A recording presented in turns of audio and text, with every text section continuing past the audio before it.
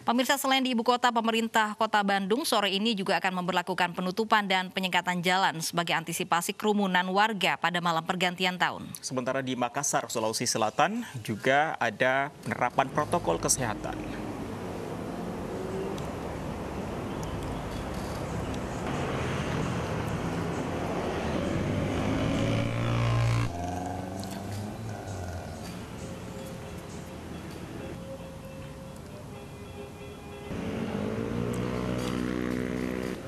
Inilah suasana di kawasan Kota Bandung, Jawa Barat. Lalu lintas masih terpantau ramai lancar menjelang malam pergantian tahun baru 2021.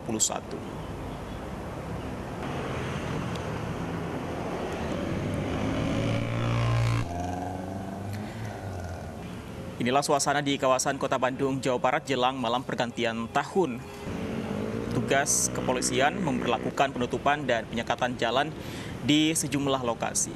Penutupan jalan ini mulai dilakukan pukul 5 sore nanti hingga pukul 5 pagi besok. Sementara untuk penyekatan jalan dilakukan di 8 lokasi yang sekaligus menjadi checkpoint bagi kendaraan yang akan masuk ke kota Bandung. Penutupan dan penyekatan jalan ini dilakukan untuk mengurangi aktivitas warga jelang malam pergantian tahun untuk mencegah kerumunan.